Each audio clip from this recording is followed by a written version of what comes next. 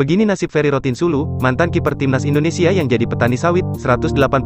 penampilan serta mempersembahkan dua gelar Indonesia Super League, ISL, dan tiga gelar Piala Indonesia, pencapaiannya bersama klub berjuluk Laskar Wong Kito ini, lantas membuat Ferry Rotinsulu sampai disebut sebagai salah satu penjaga gawang terbaik Indonesia kala itu. Sayangnya, penampilan apiknya bersama Sriwijaya belum cukup untuk membawanya mendapat banyak caps bersama timnas Indonesia, tercatat, pemain berpostur 182